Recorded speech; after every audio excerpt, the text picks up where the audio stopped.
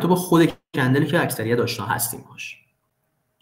برای اینکه با خود بخوایم در واقع الگوها آشنا بشیم ما نیاز اول روندشناسی رو بلد باشیم.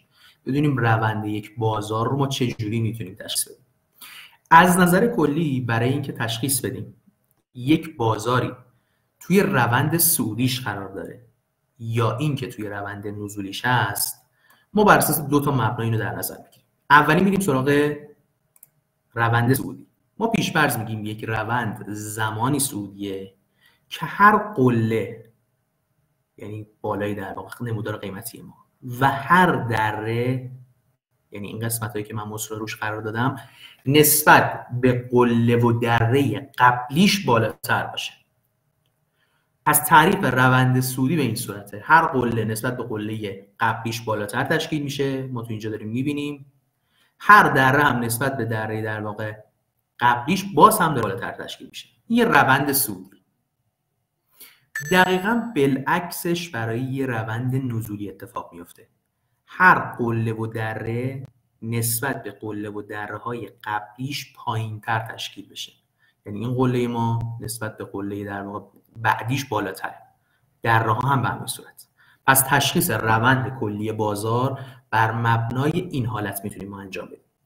در کنار تشخیص روندها من یه لحظه سفر رو باهاتون شیر می‌کنم یه صفحه دیگه و اگر ممکنه یه تایید هم روی این صفحه به من بدین که مشاهده می‌کنین. متشکرم.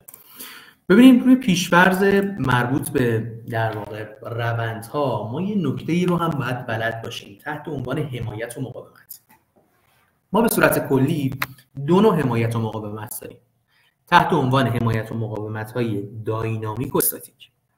شما تصور کنین روند حرکتی یک سهم روند حرکت قیمتی یک سهم به این صورت. یک قیمتی داره بالا میره و به همین شکل داره ادامه دار میشه. یه محدوده ای رو ما داریم که این محدوده زمانی که قیمت می‌خواد بهش برسه همیشه یک مقاومت ایجاد میشه روش یک حمایتی ممکنه پیش بیاد. یه دافعه ای داریم ما روی این حالت. یعنی این قسمتی که ما الان داریم یک سطح مقطعیه که اجازه نمیده نمودار قیمتی از این ناحیه پایین تر بیاد. بالعکسش هم دقیقا وجود داره. یعنی ما یک ناحیه ای رو داریم که قیمت تا حد امکان تمایلی نداره که از اون ناحیه بالاتر بره. یک دافعه ایجاد می‌کنه وقتی به اون ناحیه می‌رسه. ما به نواحی که اجازه نمیده قیمت از یک مقدار مشخصی بالاتر بره یعنی این قسمت ما خط بالایی ما. بهش میگیم مقاومت. دقیقا بالعکسش یک سری نواحی که یک سری در واقع خطوطی که اجازه نمیدن قیمت از یک حد مشخصی پایین تر بیاد یعنی یک تجمیع بازاری در واقع بازاری وجود داره که از این محدوده نباید پایین تر بیاد. ما به این هم میگیم حمایت. فقط از نظر حمایت و مقاومت ما دو نوع داریم. حمایت و مقاومت داینامیک و استاتیک. حمایت ها و مقاومت هایی که یه محدوده رو شامل میشه. یعنی طبق شرایط زمانی جابجا میشه و تغییر می‌کنه ما بهش میگیم مقاومت و حمایت داینامیک. یعنی این دوتا مقاومت و حمایتی که الان ما اینجا داریم به عنوان مقاومت و حمایت داینامیک شناخته میشه. اما اگر جایگزین این خط در واقع موربی که ما داریم. یک خط افقی پیش بیاد مثل اینجا. شما تصور کنیم به جای این نمودار ما یه همچین نموداری رو داشتیم.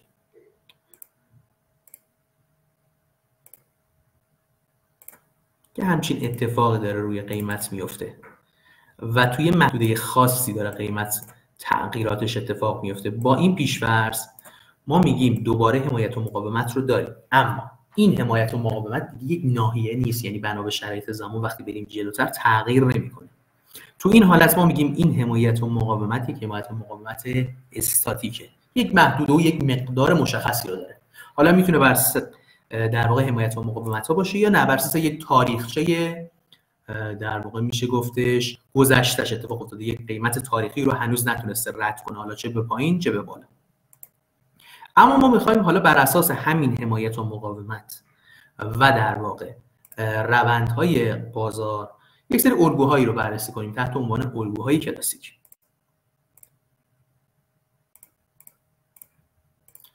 من مجدد صفحه مربوط به رو شیر کردم.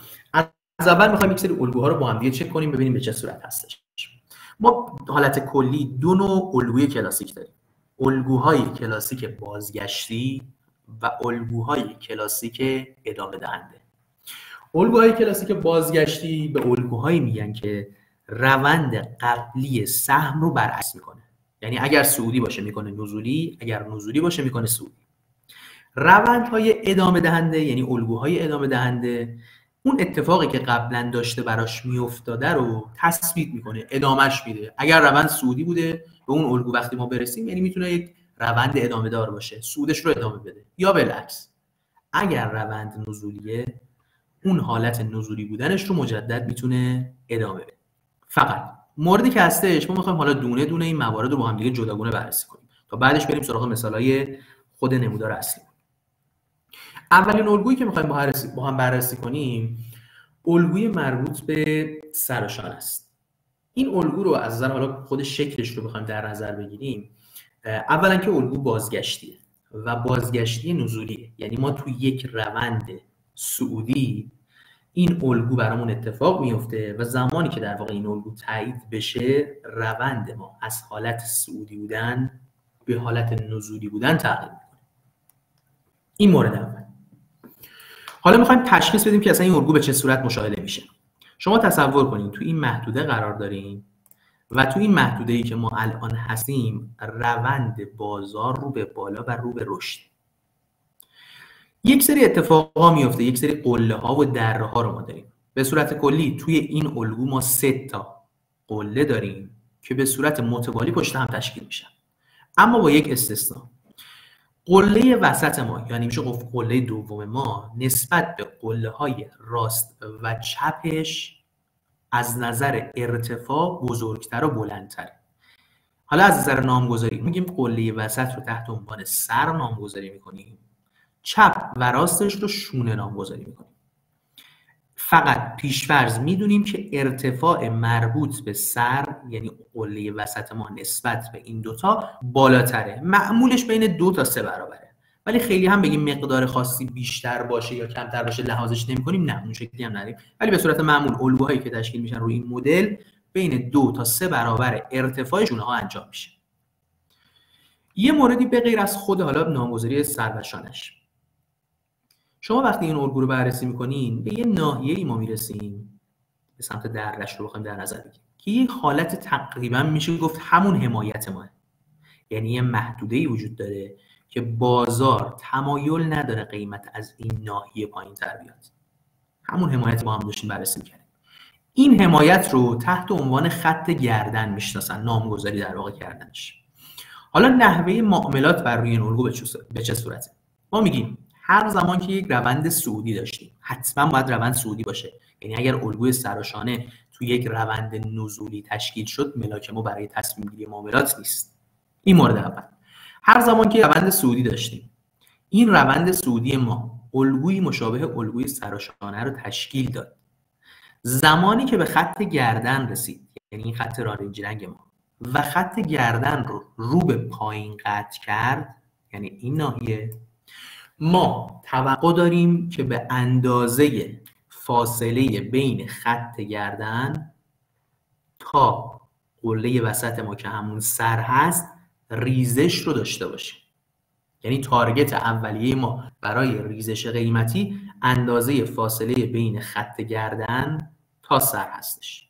مثلا اگر timing به عنوان مثال شما گرفتین که 5 سانتی متر 5 سانتی متر توقع داریم این ریزش صورت بگیره. حالا ملاک میگم درصدیش باید لحاظ بشه. ولی شما پیش فرض حالا به عنوان اندازه فعلا بگیریم تا بریم وارد خود مثالاش بشیم. پس این شد مورد اول. میریم سراغ مورد دوم. الگوی سر و شانه معکوس. الگوی سر و شانه حالت عادی رو که بررسی کردیم یه الگوی بازگشتی بود. الگوی سر و شانه معکوس هم دقیقا همین حالته و بازگشتی. یعنی روند ما رو عوض می‌کنه. با این تفاوت که الگوی سراشانه معکوس توی یک روند نزولی تشکیل میشه و روند نزولی شما رو به روند سعودی تغییر میده. این پس شد تفاوت اولش.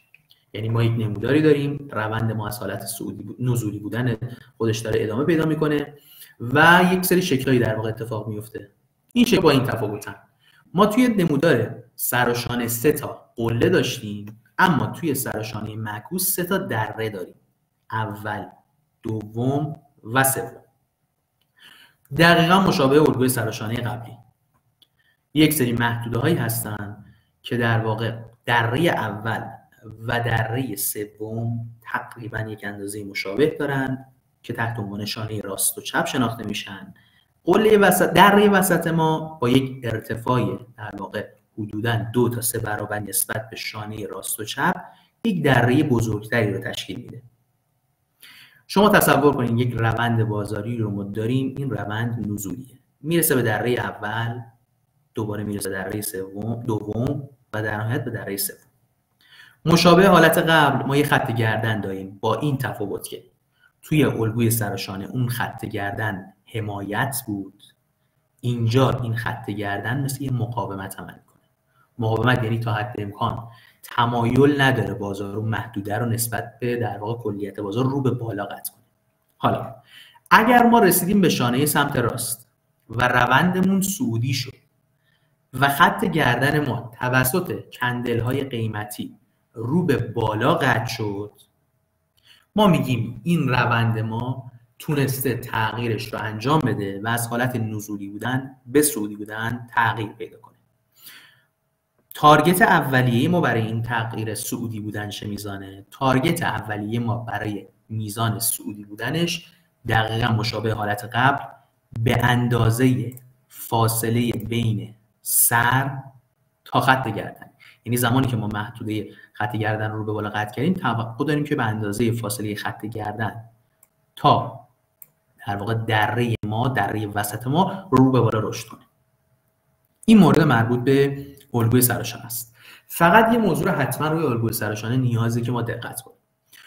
نکته اول توی الگوی سراشانه از سمت راست اگر بخوایم در نظر بگیریم نکته اول رو ما باید حتما یک تقارن نسبی داشته باشیم روی دو طرفمون یعنی اگر ما یه خطی وسط قله حالا پیش ما قله در نظر می‌گیریم ولی الگوی سراشانه معکوس هم همین حالت تصور کنین یک خطی رو وسط در واقع قله رسم می‌کنیم قله وسطمون و به دو ناحیه راست و چپ تقسیمش می‌کنیم.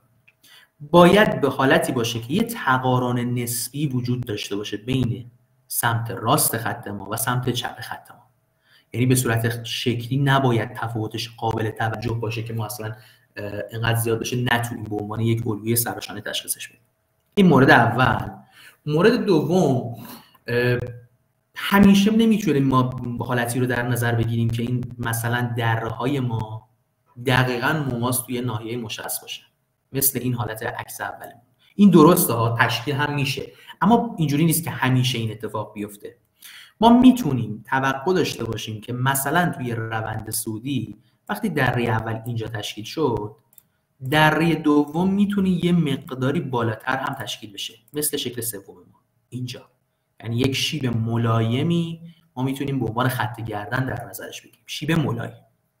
اما اگر این شیب از حالت ملایم بودن خودش خارج شد یه شیب قابل توجهی رو داشت که یه درصدی رو میشه در نظر گرفت اینجا ما دیگه تحت عنوان یک الگوی سراشانه نمیشناسیمش. پس این الگوی ما عکس وسط ما نمی‌تونه به عنوان یه الگوی سراشانه شناخته بشه. چون خط گردن شیبش ملایم نیست یه شیب قابل توجهی داره که نمیشه به عنوان الگو در نظرش گرفت. این روی موضوع مربوط به الگوی سرشانه و نکات مربوط رو بعد از اون بریم سراغ الگوی مثلث. الگوی مثلث به چه صورته؟ ما داخل فرایند مربوط به یکی از دوستان گفتن صدا قطع و وصل میشه. اگر سایر دوستان هم این مورد مشکل دارن اگر امکانش هست بفرمایید یا نه اگه صدا مناسبه یه مثبت بدین که ما ادامه بدیم کلاس رو.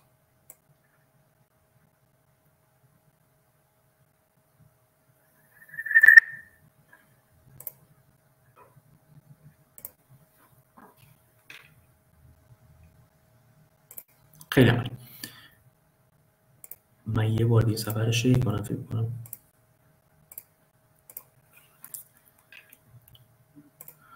خب. یه از دوستان پرسیدن که ممکنه شونه ها با هم دیگه یکسان نباشه. ببینید پیشورز خیلی در واقع میشه گفتش کمالگرایی که می‌خوایم در نظر بگیریم که حتما این شکل ما کامل متقارنه نه هیچ وقت به این صورت نمیشه گفتش که کامل باید مو به مو و هم اندازه هم دیگه باشن. میشه. با در واقع در نظر گرفتن همین حالت استثناء یک استثناهایی هم شامل شده. یعنی در واقع اونجوری نیازی کامل منطبق با هم باشن. یک ذره مثلا قله سمت راست ما بالاتر باشه به اینکه مثلا اینجا تشکیل بشه بیاد اینجا این حدود تشکیل بشه. یا اندازه قله سمت چپ کوچیکتر از قله سمت راست باشه. یعنی اندازه این شونه سمت چپ نسبت به شونه سمت راست کوچیکتر یا بزرگتر باشه. اینا رو ما می‌تونیم در نظر بگیریم. به شرط اینکه اندازه خیلی چشمگیر نباشه. یعنی یه اندازه تفاوت اندازه ای حالا چه تو ارتفاع قله چه توی اندازه شونه ها باشه که بشه به صورت در واقع کلی اقماز در نظر گرفت براش. خیلی به چشم نیاد. مثل همین حالتی که اینجا ما استثنا گرفتیم. پس می‌تونه اندازه ها و ارتفاع قله ها به صورت خیلی جزئی متفاوت باشه. بریم سراغ سوال مورد بعدی در رابطه با در واقع موضوع الگوهای مثلث. برخلاف مورد مربوط به الگوی سراشانه که یه الگوی بازگشتی بود این الگوی الگوی ادامه دهنده است. همونطور که ابتدا صحبت کردیم. یعنی یک روندی رو ما داریم که این روند مثلا سعودی بوده یا مثلا نزولی بوده. زمانی که این الگو اتفاق میفته نشون دهنده اینه که روند ما ادامه داره. اگر سعودی بوده به سعودی بودن خودش ادامه میده. اگر نزولی بود به نزولی بودن خودش می‌خواد ادامه بده.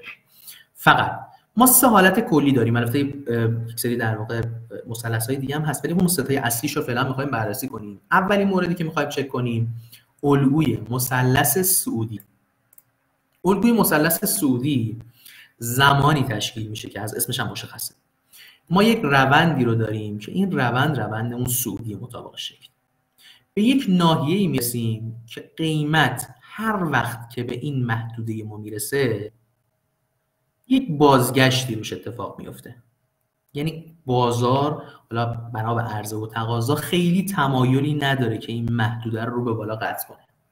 اما به طب محدوده پایینش یعنی درهاش یک ناحیه ای رو داره شامل میشه که این ناحیه داره کم کم رو به بالا میره. یعنی دره اول ما اینجا تشکیل شد دره دوم ما اینجا تشکیل شد دره سوم و به همین ترتیب. این شکل رو اصلا حالت عادی بخوایم در نظر بگیریم. به صورت کلی می‌تونیم متوجه بشیم که این الگو نشون میده کم کم داره قدرت خریداران نسبت به فروشنده ها زیاد میشه. این مورد اصلا از درهاش می‌تونیم بفهمیم. درها به ترتیب دارن یه رشد ملایمی رو انجام میدن. بنا به همین مورد مقاومت ما هر زمان توی این الگو که روند سودی ما شروع شده به یک نقطه می‌رسیم که یه مقاومت استاتیک داریم. یعنی یک مقدار مشخصه. اما یه حمایت داینامیک داریم. که این حمایت داینامیک روند سعودی رو به نوعی میشه گفت نشون میده. اگر خط کندلی قیمتی ما تونست مقاومت رو به بالا قطع کنه یعنی عملا اون روند سعودی ما که شروع شده بود دوباره به روند سعودی بودنش ادامه میده. میزان تارگت ما چقدره؟ یعنی ما توقع داریم حداقل به چه میزانی قیمت رشد کنه؟ ما توقع داریم به اندازه فاصله بین قله اول و دره اول یعنی فاصله بین این دو تا از جایی که شکست مقاومت شروع شده قیمت شروع کنه به بالا رفتن. پس این در رابطه با target ش بود. پس حالت اول شد الگوی مثلث صعودی که نشون دهنده یک روند در واقع ادامه دهنده است به حالت صعودی بودن رو به حالت بعدش ادامه میده. میریم سراغ مثلث نزولی. فقط اگر سوالی موردی از حتما تایپ کنین مثلا می‌کنم یا انتهای الگو یا انتهای جزوه سوالا رو پاسخ بدم که بعدش بریم سراغ مثالای عملیش. مورد بعدی الگوی مثلث نزولی. از اسمش هم مشخصه. یه روند نزولی ما داریم. الگوش چون ادامه دهنده است پس با همین پیشفرض می‌تونیم بگیم که یک روندی داریم که این روند نزولیه. یعنی ما روند قیمتی که شروع کردیم حالت نزولی بودن داشته. یک حمایتی رو داریم یعنی یک محدوده ای رو ما داریم شامل میشیم که این محدوده بنا به عرضه و تقاضا و شرایط بازار تمایلی نداره قیمت از این ناحیه پایین تر بیاد. اما به طب ما اگر بیایم بالاش رو هم چک کنیم یعنی قله هامون رو در نظر بگیریم قله ها به ترتیب دارن کم میشن. اگر بخوایم از نظر در واقع عرضه و تقاضاش در نظر بگیریم یک شرایطی اتفاق افتاده که داره روند کاهش قدرت خریدار یا افزایش قدرت فروشنده رو نشون میده. حالا با پیش‌فرض بخوایم خط روندش رو بگیریم تقریبا میشه یه روند نزولی رو می‌تونیم ببینیم.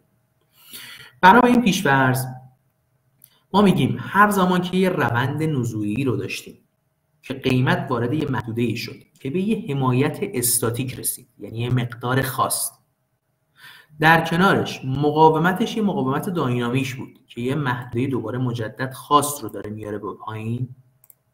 اگر توی این دامنه نوسان کرد و حمایت ما رو رو به پایین قطع کرد ما میگیم این روند نزولی ما که شروع شده بود و به یه ناحیه رسید که حالا میشه گفت یه اصلاح زمانی رو داشت وقتی حمایت خودش رو رو به پایین قطع کنه عملا روند نزولی ما دوباره ادامه پیدا می‌کنه. میزان تارگتی که ما داریم روی مورد چقدره؟ دوباره مشابه حالت قبل. فاصله بین دره اول و قله اول. یعنی این فاصله ای که ما داریم بین این دوتا به عنوان یه تارگت اولیه یا حداقلی ما هست که می‌تونه بعد از شکست حمایت تو اون ناحیه مورد نظر ما ادامه دار باشه.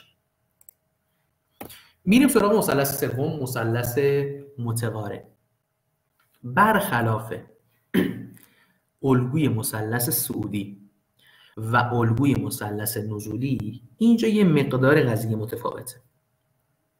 به این صورته که شما تصور کنید که ما یک مثلثی رو داریم شامل میشیم که این مثلث هم از سمت حمایتش هم از سمت مقاومتش یعنی بالای نمودار و هم از سمت حمایتش یعنی پایین نمودار داره به صورت در واقع یک حمایت و مقاومت داینامیک عمل می‌کنه.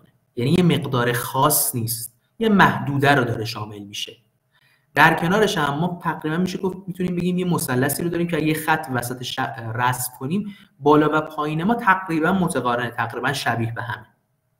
این مثلث یعنی این حالت الگویی ما میگه هر زمان که شما همچین الگویی رو دیدین حالا فرق نمی‌کنه الگو نزولی باشه یا سودی باشه. توی این دامنه مورد نظر ما شروع کرد به نوسان کردن.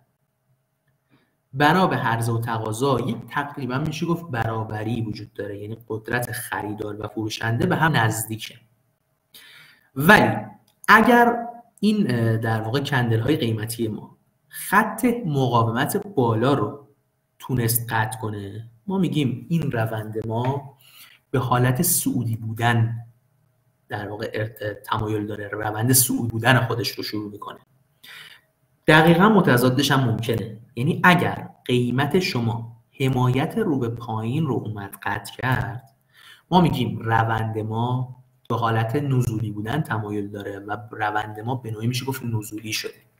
پس برخلاف حالت قبل اینجا ما هیچ مورد استثنایی نداریم که بگیم حتما یا سعودی میشه یا نزولی میشه. هر دوش ممکنه. هر زمان که رو به بالا یا رو به پایین قطع شد ما میگیم روند ما به اون شکله. رو به بالا قطع بشه روند سعودی میشه. رو به پایین قطع بشه روند ما نزولی میشه. تارگت ما چقدره؟ فاصله مجدد این حالت قبل. فاصله بین قله اول و دره اول. هر میزانی بود ما میگیم اگر سعودی بود هر جایی که قطع کرد میشه تارگت اولیه ما. از این فاصله اگر به صورت نزولی بودن شروع کرد در واقع ریزش ما میگیم تارگت اولیه ما هم به همین صورت رو به پایین نزول می‌کنه. خب بریم سراغ مورد بعد. الگوی در واقع بعدی. الگوی سقف دوقلو یا در واقع جلوتر کف دوقلو هم داریم. فقط من فکر کنم تا حل الگو باشیم سوال ها رو بررسی کنیم. فکر کنم بهتر بتونیم مورد با هم دیگه چک کنیم. خب جزوه رو من حتما در اختیار دوستان قرار میدم که توی در واقع کانال قرار بدن. اگر نیاز داشتین دانلودش کنین. ببینید یکی از دوستان پرسیدن که تو بازه های مختلف می‌تونیم روندهای مختلفی رو داشته باشیم. مثلا تو time frame هفتگی نزولی ولی در time frame روزانه صعودی باشه. ببینید کلیت به این صورت هست. یعنی ما خیلی واقع ممکنه یه تحلیل رو بکنیم. حالا چه با اندیکاتور چه با تحلیل در واقع الگوهای کلاسیک اصلا فرق ما یه بازه بلند مدت داریم یه بازه کوتاه مدت. داریم مثلا بازه های کوتاه مدت ما می‌تونه به صورت time frame های ساعتی باشه دقیقه‌ای باشه یا حتی روزانه. time frame های بلند مدت شامل time frame های هفتگی و ماهانه میشه. به صورت کلی ما میگیم بهتره که ما بر مبنای روند بازار حرکت کنیم. روند بازار ما مبناش میشه چی؟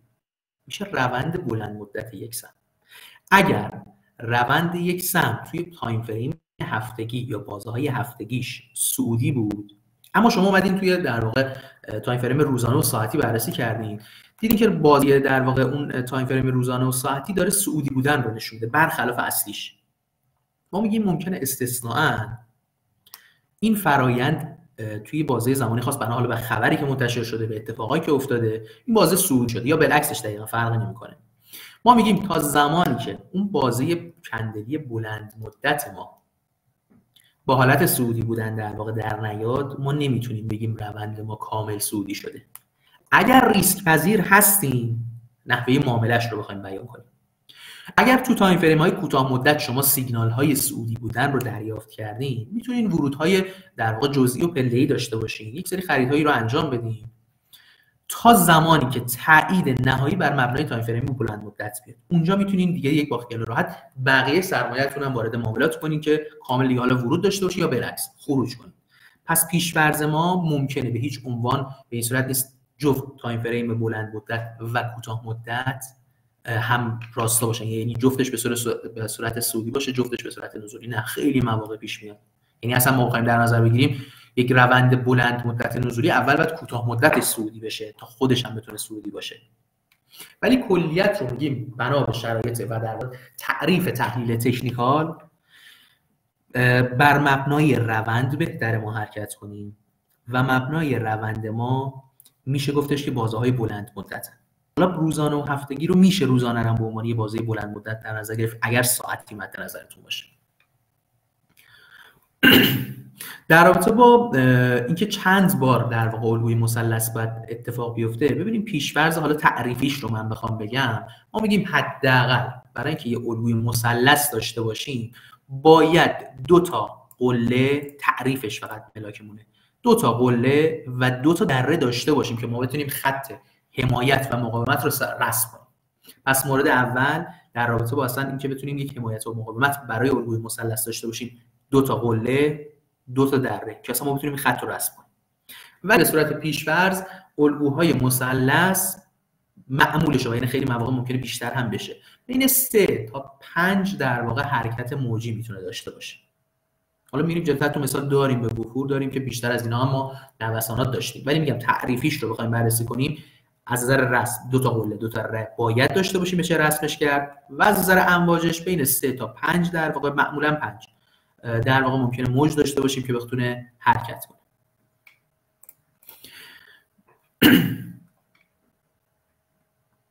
ببینید الگوها در مورد صندوق ها چه صندوق هایی مد نظرتونه؟ من بخوام خودم نظر شخصی رو بگم. الگوها رو صندوق هایی مثل صندوق های سهامی شاید خیلی مناسب نباشه. اصلا بخوایم تکنیکالی عمل کنیم. روی صندوقی مثل صندوق های مبتنی بر کالا مثل مثلا ایار که بر مبنای طلا و یک مشخصه ای داره. یعنی می‌دونیم بر سه نماد قیمت طلا تغییر می‌کنه الگوی تکنیکال جواب میده.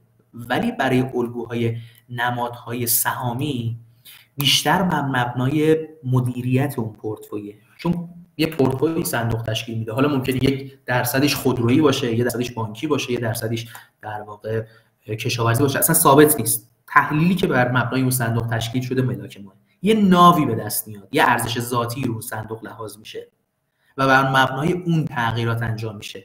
برای همین شاید الگوی تکنیکال خیلی برای صندوق ها مناسب نشه نباشه. مگر اینکه میگم استثنا صندوق های مبتنی بر کالا که ما می‌دونیم یه موضوع خاصه مثل طلا.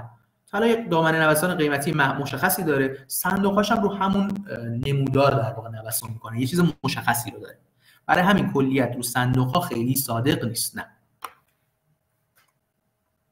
حتما به صورت کامل میریم روی در واقع شکل های نموداری هم به کامل بررسی می‌کنیم. مثلا میارم شما در واقع با هم دیگه چک کنیم ببینیم چه الگوهایی رو داریم. پس سریعتر اون جزوه رو من تمومش کنم. بریم سراغ الگوهای سقف دو قلو الگوی سقف دو قلو دقیقا مشابه الگوی سر و شانه است. با این تفاوت که دیگه ما سری نداریم. یه شانه راست و یه شانه چپ داریم. الگوی سقف دو قلو دقیقا مشابه الگوی سر و شانه یه الگوی بازگشتی. یعنی روند ما یه روند سعودی بوده شروع کرده به بالا رفتن. دو تا قله داریم قله اول قله دوم. و یک خط بنایی میشه گفتش مقاومتی اینجا تشکیل میشه. یک محدوده ای رو داریم دوباره مجدد تحت, تحت عنوان خط گردن. این خط گردن که یک حمایت رو به شما نشون میده اگر توی این روند قیمتی قرار گرفتیم و وقتی به قله دوم رسیدیم و خط روند خط قیمتی شما. رو به پایین اومد و تونست خط گردن رو قطع کنه. میشه گفت روند ما از حالت سودی بودن خارج شده و به حالت در واقع نزولی بودن خودش رسیده. هدف ما چقدره؟ یعنی تارگت ما چقدره؟ فاصله بین خط گردن تا قله اول دوم این پس شد الگوی سقف دوم. همین حالت دقیقا برعکسش مشابه سرشانه مکوس. ما دو تا ناحیه رو دو تا ناحیه داریم. خط گردن و کف اول و کف دوم. خط گردن اینجا به صورت مقاومت عمل می‌کنه و کفها به صورت حمایت. توی روند نزولی هستیم که این روند نزولی ادامه داره و زمانی که وقتی به کف دوم می‌رسیم روند ما رو به بالا میره اگر خط گردن قطع بشه رو به بالا ما توقع داریم که به اندازه فاصله بین کف تا خط گردن از اینجا قیمت ما شروع کنه به رشد کردن و تا حداقل اون میزان مورد نظر فاصله این دوتا رشد داشته باشه. همین حالت رو ما توی در واقع یک الگوی تحت عنوان الگوی سقف سقلو داریم. یعنی به جای اینکه ما دو تا قله داشته باشیم سه تا قله داریم. عکسش رو اگر بررسی کنین شما تصور کنید یه روند سودی رو ما داشتیم رو به رشد بوده. به سه تا قله رسیدیم که یک در واقع خط مقاومتی رو شامل شده. که این خط مقاومت اجازه نداده از این قیمت بالاتر بره. یک اجماع جمعی بوده که گفته تا اینجا بیشتر شاید در واقع سهام یا اون حالا شاخص هر چیزی که بررسی کنیم بیشتر نمیارزیده که ما بخوایم براش خرج کنیم. بیشتر عرضه کردن تا خریدار باشه. هر زمان که ما به قله سوم رسیدیم یعنی تو این ناحیه و خط ما شروع کرد رو به پایین اومدن و خط گردن رو قطع کرد. ما توقع داریم که روند سودی بودن ما به حالت نزولی بودن برسه و تارگت ما هم میشه دوباره مجدد فاصله بین خط گردن تا سقف. دیگه توضیح مازاد نمیدم. یه دونه داریم کف سقلو. دقیقا باز مشابه حالت قبله. یعنی ما یک ناحیه ای رو داریم که سه تا کف یا سه تا دره تشکیل میشه و زمانی که این روند نزولی ما سه دره رو قطع می‌کنه رو به بالا که میاد اگر خط گردن رو بتونه بشکونه توقع ما اینه که روند نزولی بودن ما میشه روند سعودی و تارگت و هدف ما اینه که حداقل به اندازه فاصله بین کف اول و کف دوم کف اصلا کنم کف در واقع سقلو تا خط گردن می‌تونه رشد کنه. بریم سراغ بازار رنج یا بازار خونسا. ما یه سری مواقعی ممکن اتفاق بیفته که توی نمودار قیمتیمون می‌بینیم. توی ناحیه خاصی داره قیمت جابجا جا میشه. یعنی یک محدوده خاصی نه بالاتر از اون میره نه پایینتر از اون میاد. یعنی یه اتفاقی افتاده که تقریبا میزان عرضه و تقاضا با هم برابره. یعنی یه فشاری وجود داره که میزان عرضه و تقاضا رو نمی‌ذاره از یه حد مشخصی بالاتر بره از یه حد مشخصی پایینتر بیاد. این حالت رو ما بهش میگیم بازار رنج یا بازار خونسا. بازار نرمال همه اینا میشه براش, براش نام گذاری کرد. خیلی در واقع فرق نمی‌کنه. تو این حالت ما میگیم با توجه به اینکه قدرت و خریدار در واقع قدرت میزان خریدار و فروشنده تقریبا یکسانه اگر کسی می‌خواد تو بازار رنج معامله کنه بهتره که اگر می‌خواد اقدام به خرید کنه نواهی باشه که ما به خط پایینمون یعنی یک خط حمایت رسیدیم اقدام به خرید کنه. و بالعکسش هر زمان می‌خواد اقدام به فروش کنه زمانی باشه که ما به ناهی تحت عنوان ناهی مقاومت رسیدیم و اینجا بیاد فروشش رو انجام بده. چرا؟ چون ممکنه همین بازی که الان شما داریم می‌بینین یک تا دو سال زمان ببره و یه فردی بخواد واقعا معامله رو انجام بده. به این صورت نباشه که خارج بشه که روند بازار سعودی بشه بعد ورود کنه. چون بعضی وقتا این فاصله ای که ما داریم طولانی مدته. ممکنه تا یک سال ممکنه تا دو سال حتی زمان ببره.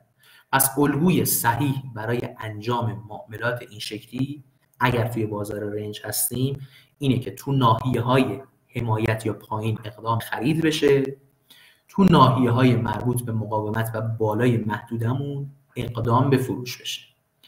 بر همین مبنا یعنی بر همین اصول ما یه الگویی رو داریم تحت عنوان الگوی مستطیل. همون حالت قبلیه. یعنی یک ناحیه مشخصی حمایت و مقاومت مشخصی رو داریم. یعنی یک کانالی رو داریم در واقع مشاهده می‌کنیم. توی این حالت ما یه روندی رو داریم. حالا این روند می‌تونه هم سعودی باشه هم نزولی توی یک بازی مشخصی مشابه این مستطیل ما داره معامله میشه. ما میگیم هر زمان که مقاومت رسید تمایلش اینه که روندش رو عوض کنه از حالت سعودی بودن خارج بشه به حالت نزولی اینجا وقتی می‌رسه میاد تا جایی که به در واقع حمایتش برسه. دوباره وقتی به اینجا رسید شروع می‌کنه به رشد کردن تا مقاومتش. همین فرایند ادامه داره تا یه جایی می‌رسه که این خط قیمت یا رو به بالا یا رو به پایین میاد مستطیل ما رو قطع می‌کنه. هر طرفی که قطع شد چه به سمت بالا چه به سمت پایین ما توقع داریم به اندازه فاصله بین دو زل مستطیلمون روند قیمتی ادامه دار باشه. یعنی اگر رو به بالا قطع شد حداقل به این میزان رشد داشته باشه. اگر هم رو به پایین قطع شد حداقل به این میزان روندمون نزولی یا کاهش داشته باشه. این میشه فرایند کلی مربوط به الگو من یه سری ها رو پیش فرض خدمتتون گفتم. حالا می‌خوایم بریم سراغ نمودارها با هم دیگه دونه دونه چک کنیم ببینیم به چه صورته. من یه لحظه سفر رو هم شیر کنم خدمتتون فقط یه موردی رو من خدمتتون قبل از اینکه بریم سراغ حالا هم سوالات هم در واقع خود مثال در کاربردیش خیلی مواقع پیش میاد یک اصطلاحی رو ما داریم تحت عنوان اصطلاح پول بک این اصطلاح به چه صورته؟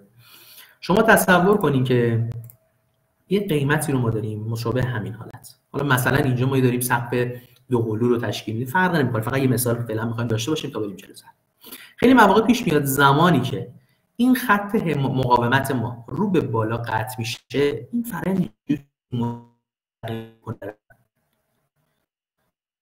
میفته که این خط ما یه ذره یک در واقع نیاز داره یه تنفسی داشته باشه یک اصلاح کوچیکی انجام بده. این حالت رو ما بهش میگیم پول بک پول بک چجوری عمل می‌کنه؟ پول بک میاد میگه هر زمان که این خط رو به بالا قطع شد یه مقداری من شروع می‌کنم به بالا رفتن. میام پایین تا این خط مورد نظر. دوباره وقتی تنفسم یعنی نفسم جا اومد دوباره شروع می‌کنم به بالا رفتن. ما به این محدوده به این محدوده خط در واقع قرمز رنگمون به این محدوده میگیم محدوده پول بک یعنی محدوده که یه فرصت هم برای افرادیه که در فرصت ورود رو نداشتن و از دست دادن. هم که این نشونه های مثبتی هم می‌تونه اگر این خط رو رو به بالا دوباره ادامه بده. یعنی پیشفرض ما همین خط بالایی که تا الان داشت به صورت یه مقاومت عمل می‌شد اجازه نمیدادش که ما خطمون بره بالا زمانی که ما این خط رو رو به بالا قطع کردیم و اومدیم بالاش قرار گرفتیم دیگه این خط مقاومت ما نیست. این خط میشه حمایت.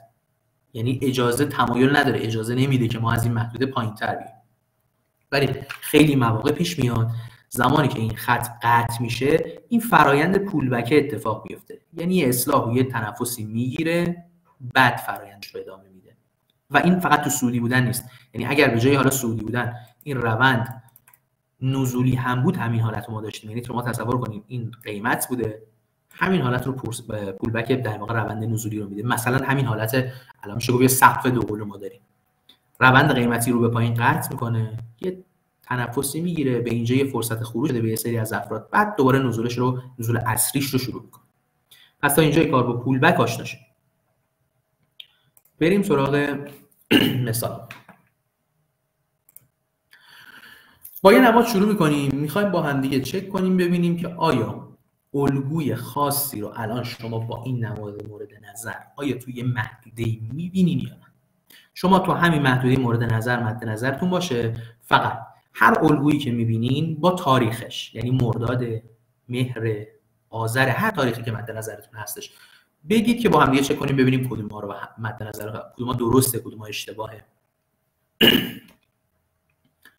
خب یکی از دوستان گفتن آبان کف دوقلو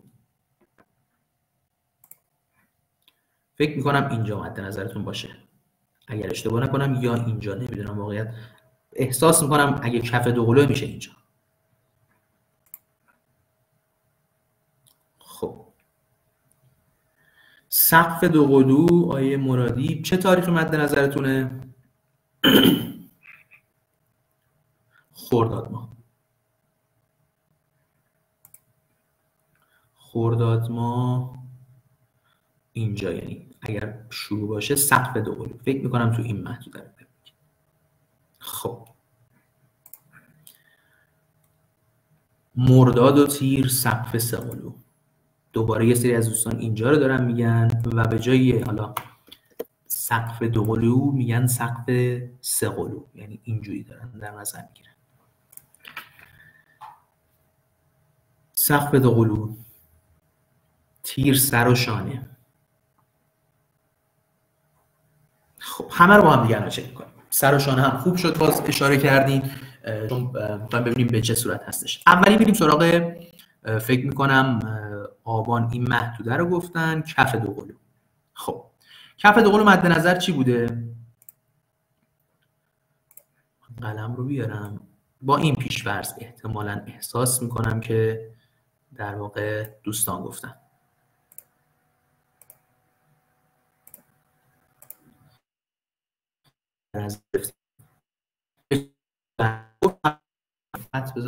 بهترم باشه.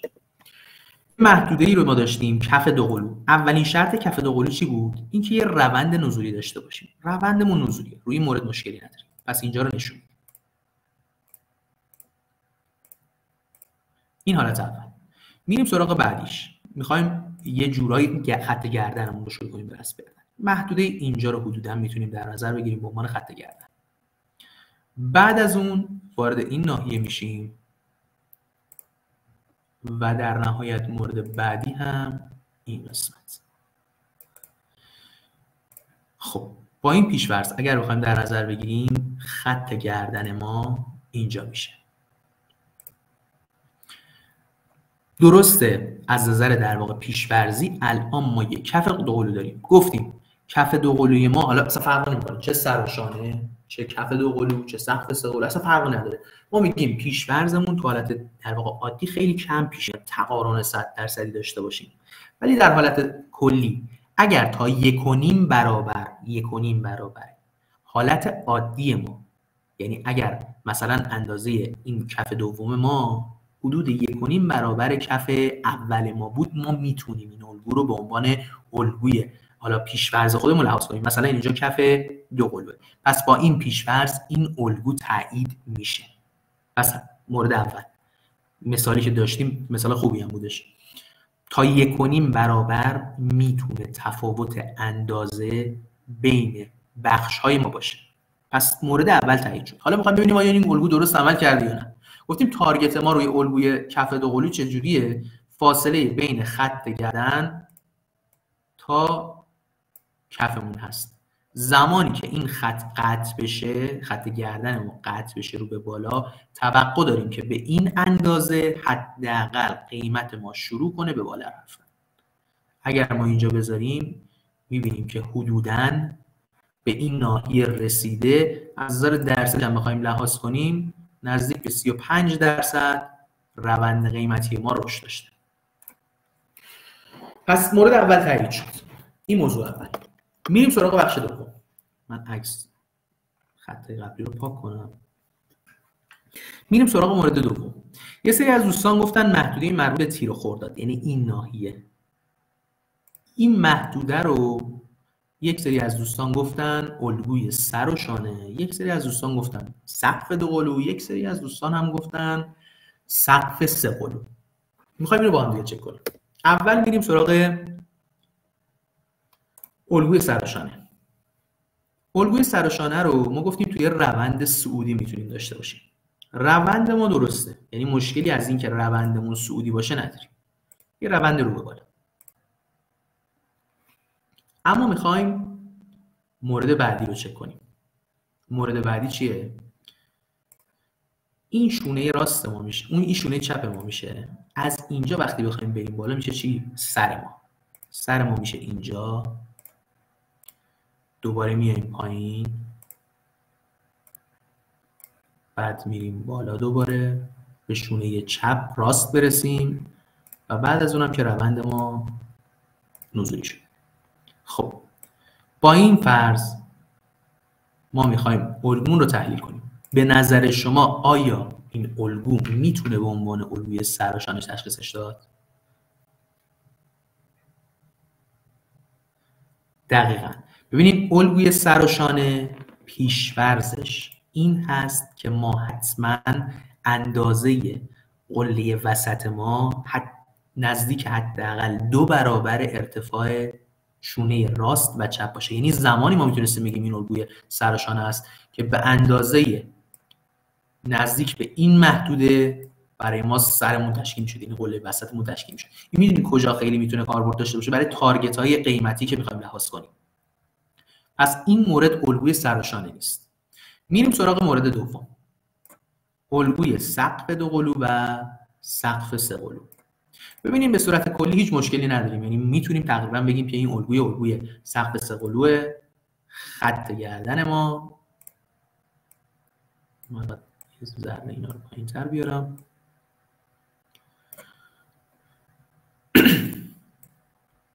و این هم خط گردن ما. خط گردن ما هم رو به پایین قد بشه. تارگت و هدف ما اینه که به اندازه ارتفاع بین قله و خط گردن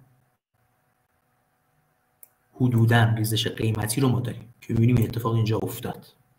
پس روی این مورد مشکلی نداریم. فقط یه در واقع چه کمکی که ما می‌تونیم بگیریم. الان اینجا یه نقضی پیدا می‌کنیم. البته نمیشه گفت حتما نقضا.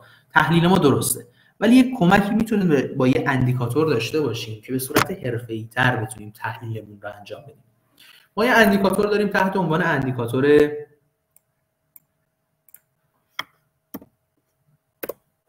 زیگزاگ. اندیکاتور زیگزاگ خیلی می‌تونه به شما کمک کنه توی تشخیص قله ها و دره ها. یعنی شما به کمک این پارامتر یا این این اندیکاتور می‌تونید قله ها و دره ها رو تشخیص بدید برای من اگر پیشورز بخوام بررسی کنم ممکنه سخت باشه بتونم قله ها و دره ها رو به راحتی ببینم. مثلا اینجاها یا حتی همین ناحیه که ما الان تحت عنوان یک سه قله و در واقع سقف سه قلو در نظرش گرفتیم. خیلی حالت عادی می‌بینیم. این مورد میشه در نظر یک عنوان یک سقف سه قلو وقتی وقتی اندیکاتور زیگ اندیکاتور لحاظ می‌کنه. یعنی یک نقاطی که به عنوان قله و دره مطلوب میشه در نظرش گرفت. جایی نیست که نوسانات کوچیک داشته باشه ما بخوایم در نظر بگیریم به عنوان قله و دره. شاید اگر من باشم من اینجا رو پیشورز خودم به عنوان یه فردی که مثلا می‌خوام بررسی کنم مثال بزنم بگم این فرآیند شروع کرده رفته اینجا به بالا یه ذره اومده پایین دوباره رفته به بالا اومده پایین. این پیش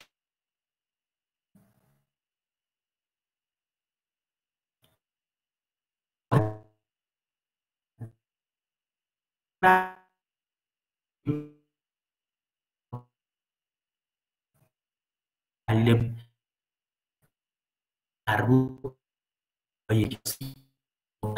کشیدن خیلی مهمه. یعنی یکی از اصلی ترین تحلیل هایی که شما می‌تونید داشته باشین رو همین موضوع که شما بتونید با استفاده از قله ها و درهای مناسب الگو روند درست رو بکشید. با این پیش ما می‌خوایم دوباره همین محدوده ای رو که تحت عنوان قله ها و سقف سقل در نظر گرفتیم دوباره بررسیش کنیم. بر مبنای اندیکاتور زیگزاگ میگم بر مبنای اندیکاتور زیگزاگ نه چشمی. ما اینجا سقف سقلو نداریم. تحلیلمون فرقی نمی‌کنه. اینجا استثنا فرقی نمی‌کنه. جای دیگه ممکن خودش نشون بده. ما به جای سقف سقلو سقف دو قلو داریم. یعنی روند قیمتی ما میگه از اینجا یه روند سعودی رو داشتیم رسیده به اینجا روند نزولی شروع شده به اینجا. بعد دوباره رفتیم به قله دوم و در نهایت روندمون رو شروع کردیم رو به پایین. خط گردنمون کجا بوده؟ این محدوده. ما توقع داشتیم که هر زمان خط کندل قیمتی ما خط گردن رو به پایین رد کرد به اندازه فاصله بین سر البته اینجا که سر سقفمون تا خط گردن ریزش رو داشته باشه که اینجا اتفاق افتاد. و یه موردی تحت عنوان پولبک اگر حضور ذهن داشته باشیم من خدمتتون گفتم. گفتم خیلی زمانا پیش میاد زمانی که روند ما شروع می‌کنه به ریزش یه تنفسی می‌خواد بگیره یه اصلاح زمانی اصلاح کوچیکی نیاز داره انجام بده. این اصلاح اینجا دقیقا اتفاق افتاده. زمانی که روند قیمتی اومده پایین تارگت اولیش رو زد. تارگت به اندازه فاصله و قله درم این تارگت رو زد. یعنی تارگت ما رو بهش رسید. بعد از اون اومد یه پول بک داد. همین ناحیه‌ای که تا قبل از این به صورتی حمایت عمل می‌کرد تمایل نداشت که قیمت سهام پایین تر بیاد. الان اینجا دیگه مقاومته ما الان زیر کندلی زیر خطیم. پس یعنی کندلای قیمتی ما وقتی بخوان اینجا برسن یه مشکلی دارن. به راحتی نمی‌تونن بیان بالا. این محدوده ای که روند نزولی دوباره تمایل به سعودی بودن داره و می‌رسه به مقاومتش ما میگیم این ناحیه رو به عنوان پولبک. برای چه افرادی مناسبه؟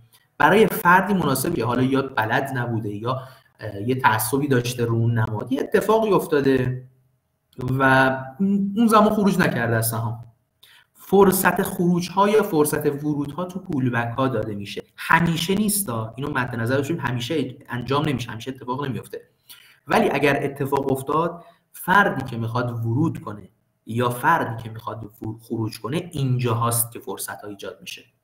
من رسیدم به این ناحیه. می‌رسم به محدوده خط گردن. می‌بینم یک کندل واقعا قابل قبولی یعنی یک کندل بزرگی منفی تشکیل شد. یعنی وقتی رسید به این مقاومت من نتونست بشکونه. نه تنها مطلوب نتونست بشکونه اصلا نتونست بشکونه. پس تایید می‌کنه به این راحتی ها این پولبکه انجام شده دیگه نمی‌تونه بره بالا. روندش دوباره ادامه این روند نزولی بودنه.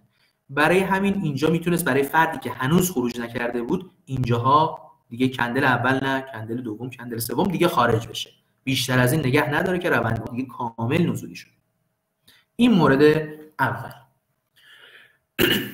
ما یه اندیکاتور گفتیم. حالا اجازه بدین قبل از اینکه اصلا بریم سراغ این موضوع اول یه سری سوالا رو با هم دیگه چک کنیم بعد بریم سراغ یه اندیکاتور دیگه که در کنارش بتونیم کمک کنیم.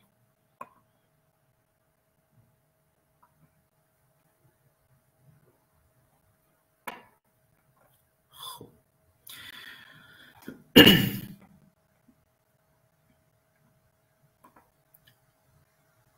ببینیم برای عدم تقارن گفتیم که عدم تقارن چون هیچ وقت به اون صورت مد نظر ما نیست دقیقا یه شکل کاملا متقارن و مصاب بتونیم داشته باشیم. پس با همین پیشورز ما میگیم اگر بخوایم در واقع تحلیل کنیم تا حدودا یک و نیم برابر در واقع حالا مثلا پیشورز ما الگوی کف بود. می‌تونه تفاوت شکل وجود داشته باشه. یعنی اندازی اون تقارنه تا یک برابر. بیشتر نه یعنی یه جوری نباشه دیگه. واقعا به چشم بیاد. تا یک برابر این تفاوت وجود داشته باشه و بر مبنای همون تحلیل رو انجام بدیم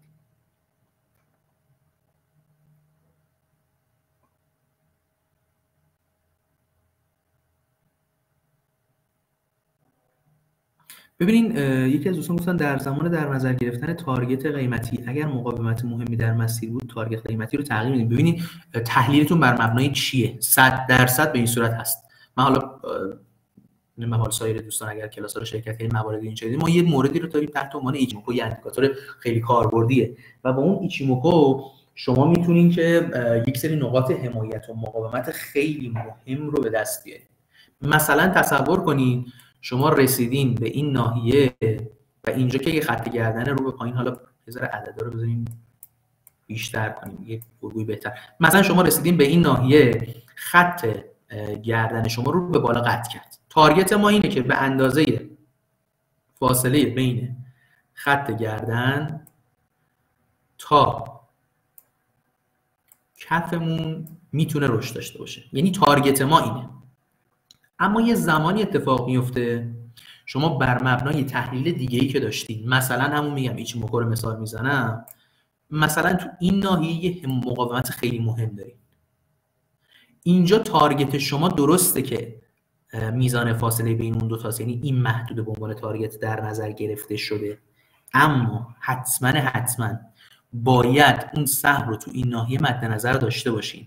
که آیا تونسته به خوبی این محدوده رو بشکنه؟ یا اصلا می‌تونه بشکنه؟ ممکنه اینجا ناحیه برسه دوباره روندش رو برعکس کنه. یا یه بازه زمانی در واقع رنج بکشه. ما این اتفاق تو اینجا داشتیم. نکنیم محدوده از اینجا شکسته شده. ولی احتمال زیاد یه مقاومتی ما اینجا اتفاق افتاده برامون.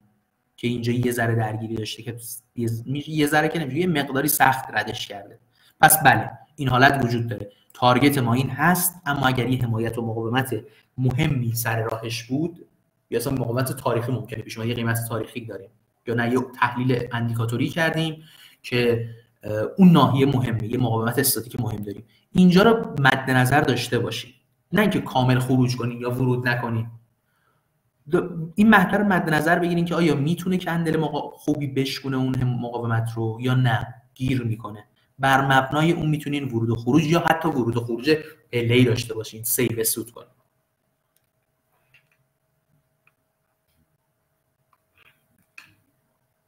ببینین در یکی از دوستان در رابطه با اندیکاتور زیگزاگ که خطوط رو دیر میشکنه مورد رو گفتم. ببینید دیر نمیشکنه. الان من بیام اینجا. خطوط آخر رو نگاه کنین. خطوط آخری که ما داریم الان توی زیگزاگ. آخرین خطوط یه به میشه گفت قله رو با ما داره نشون میده. یعنی اینجا رو. درسته که ما بعدش رو نداریم.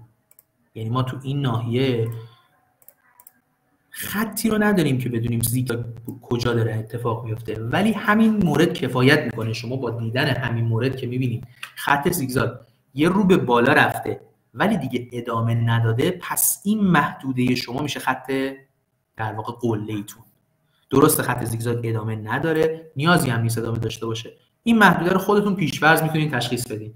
مثلا بریم تو همون قبلی برای زیگزاگ اینجا شما رسیدیم به این محدوده مثلا تو این کندلاین من یه ذره تصویر رو بیارم عقب‌تر مثلا رسیدیم اینجا. هیچی از آینده ما نمی‌بینیم.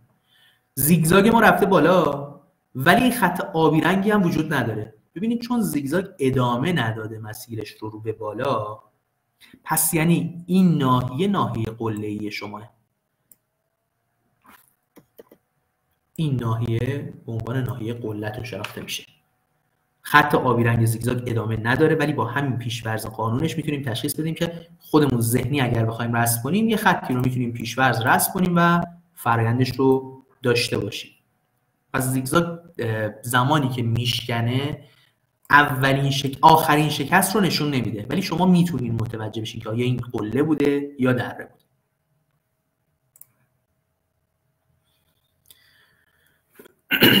ببینیم اینجا پولبک هم زده یعنی اتفاقی که اینجا افتاده یکی از دوستان اشاره کردن اینجا خط گردن ما بود. این ناحیه. حدودا خط گردن ما بود. این محدوده پولبک هم ما داشتیم. یعنی این محدوده که ما الان داریم نگاش می‌کنیم یه پولبک اتفاق افتاده. ولی همین پولبک حالا فرصت ورود برای یک سری داده احتمال زیاد یک اتفاق یک مقاومتی بر اساس ایچیموکو یا هر تحلیلی که می‌کنیم اینجا بوده که این پولبک اتفاق افتاده. پولبک درسته و به احتمال زیاد یه مقاومتی هم بوده که سخت تونسته از محدوده عبور کنه. یه مورد من در کنار این بگم چون ببینین الگوی کلاسیک الگوی کلاسیک خوب هستن ولی شاید بتونم بگم کافی نیست.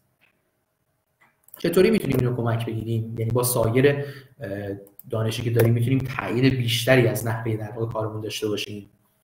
ما یه اندیکاتوری داریم. حالا فعلا از اندیکاتورهای ساده شروع می‌کنیم. اگر وقت شد بقیه اندیکاتورها با هم دیگه چک کنیم ما یه اندیکاتور دیگه داریم تحت عنوان اندیکاتور moving average دوتایی یا double اندیکاتور moving average دوتایی رو من کلیتش رو میگم. بعد از اون می‌خوایم با هم دیگه یک مروری کنیم. همین دو تا الگویی که با هم دیگه چک کردیم. بعد بریم سراغ مثالای بعدی.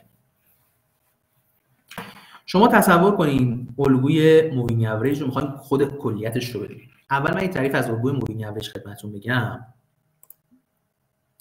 الگوی moving average دو تا خط شامل میشه. یه خط بالا داریم نارنجی رنگ خط تحت عنوان fast یا سریع یه خط آبی رنگ رو داریم تحت عنوان خط slow یا کند. این moving average میاد candle ا رو در نظر می‌گیره. میانگین تعدادی که براش تعیین کرده رو محاسبه می‌کنه. مثلا میگه توی این moving average ما چند عددش 14 و 21 خط سریع ما 14 یعنی 14 تا candle رو با هم دیگه جمع می‌کنه. تقسیم بر عدد 14 می‌کنه یه عدد مشخصی به دست میاد. مورد مربوط به در واقع اندیکاتور moving slow ما 24 تا candle رو میاد با هم دیگه جمع می‌کنه یه میانگین رو براش محاسبه می‌کنه. نحوه کار باهاش چجوریه؟ ما میگیم هر زمان که candle های قیمتی بالای این دوتا خط بودن. خط فست ما یا نارنجی رنگ ما خط اسلوی آبی رنگ رو رو به بالا قطع کرد. ما میگیم این ناحیه رو می‌تونیم به عنوان ناحیه ورود و تغییر روند بازار در نظر بگیریم. بالعکسش هم وجود داره. هر زمان که خط نارنجی رنگ ما یا خط در واقع سریع ما خط اسلو رو به پایین قطع کرد. ما میگیم اینجا روند بازار نزولی شده و به نوعی میشه گفت بر مبنای اندیکاتور moving average سیگنال خروج به شما داده شده. میریم سراغ دوباره الگوهای کلاسیک رو. دوباره زیگزاگ رو میاریم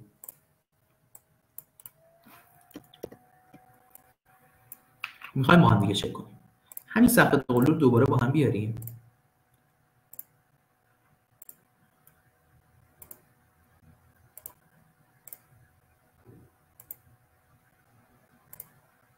اینم مورد دوم. آخر. شما تصور کنین که این candle قیمتی ما اصلا بزنین خط نکشم ما تا اینجا اومدیم رسیدیم به قله اول خط گردن قله دوم. قیمت شروع کرده به ریزش candle اول candle دوم candle سوم بر مبنای همون اندیکاتور moving average که الان داشتیم چک می‌کردیم ما گفتیم کجا می‌تونه به عنوان فرصت در واقع خروج یا تغییر روند بر اساس moving average باشه؟ جایی که خط نارنجی رنگ یا فست ما خط آبی رنگ رو به پایین قطع کنه عملا اینجا به شما سیگنال خروج داده. ما با این کاری نداریم. ما میگیم اگر اومدیم رو کندلی مثل اینجا رسیدیم هنوز ما آینده رو نمی‌بینیم. عملا انگار اینجا از سمت در واقع این کندلی که من روش هستم راست اصلا وجود نداره. وجود خارجی روش نیستش. ما می‌خوایم درجه اطمینان خودمون رو بالا ببریم. ما میگیم بر اساس الگوی در واقع سقف دو زمانی که خط ما خط گردن ما توسط کندل رو به پایین قطع بشه اینجا به شما سیگنال خروج میده. اما یه فردی حالا ممکنه بنا به تجربه بنا به اتفاقاتی که واقعا هم افتاده. زمانی که این خط گردن به اینجا رسید کندل قیمتی ما قطعی نتونسته بکنه یا اگرم قطع کرده بلا فاصله دوباره برگشته روی نمودار. پیش میاد یعنی اصلا اینجوری نیستش بگیم هر دفعه این الگو تشکیل شد بلا فاصله روند ما یا نزولی میشه یا صعودی میشه. برای همین ما میگیم می‌خوایم درجه اطمینانمون رو ببریم بالا. درسته اینجا ما سیگنال خروج دریافت کردیم بر مبنای قطع شدن خط گردن. بالاش هم به ما اندیکاتور moving average خودش جلو جلو سیگنال خروج رو داد. پس من 100 درصد با درجه اطمینان خیلی بالاتری می‌تونم اقدام کنم برای معامله و اینکه درصد قابل قبول تری داشته باشه معامله. یعنی اون position ی که دارم می‌گیرم درست تر باشه. پس حتما حتما اگر می‌خواین معامله ای رو انجام بدین بر مبنای ترکیب الگوهای کلاسیک بر مب... در کنار moving average در کنار RSI در کنار MACD در کنار اندیکاتورهای دیگه باشه که بتونه کاملتر کنه و به شما اطمینان بالاتری بده. یا همین الگوی کف دوقلویی که داشتیم دوباره همینجا اتفاق افتاد. اینجا به شما سیگنال ورود داد. حالا اگر فردی با این معامله می‌کرد که ورود کرده. ولی اگر بر مبنای الگوی کلاسیک می‌خواست معامله کنه اینجا سیگنال ورود گرفته. ولی خیالش ناراحته. خیلی مطمئن نیست درسته یا نه. میگه من یه اندیکاتور دیگه هم اینجا دارم چک می‌کنم. اینجا هم به من سیگنال ورود داده. پس من با اطمینان قلب بیشتری می‌تونم ورود داشته باشم به پس ترکیب ها در واقع می‌تونه خیلی به شما کمک کنه توی ترکیب استراتژی. یکی از دوستان پرسیدن که از زیگزاگ برای شمارش امواج الیوت هم میشه استفاده کرد؟ دقیقاً. فرق کنه یعنی شما اصلا می‌خواین موج شماری الیوت رو انجام بدیم اساس قله و درست دیگه 100 درصد. برای همین زیگزاگ برای تشخیص این قله ها و دره ها خیلی می‌تونه به شما کمک کنه. کلا اندیکاتور زیگزاگ برای افرادی که تازه دارن اقدام می‌کنن برای تحلیل تکنیکال یعنی تازه می‌خوام ورود کنم به بررسی بازار خیلی می‌تونه کمک کنه. چون واقعا چش آدم عادت نداره به موج ها و قله هایی که ابتدا استفاده می‌کنه.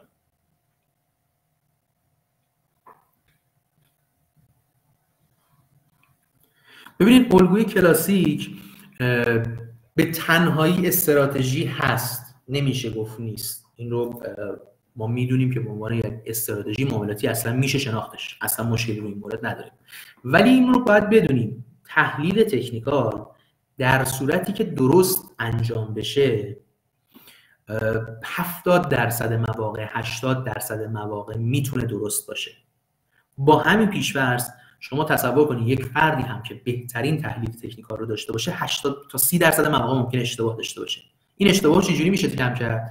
با ترکیب روش های مختلف با هم. برای همین ما میگیم اگر شما از الگوی کلاسیک استفاده می‌کنین استراتژیش درسته قابل قبول میشه بهش اعتماد کرد.